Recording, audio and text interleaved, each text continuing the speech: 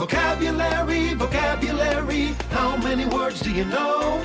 With the power to read, we'll learn new words. Here we go. What word is this? Brave. Read it with me. B R A V E. What does it mean? Listen with me. Brave is to be strong or to help others Vocabulary, vocabulary, how many words do you know?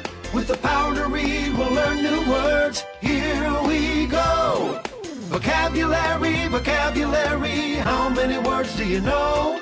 With the power to read, your vocabulary can grow, grow, grow. With the power to read, your vocabulary can grow.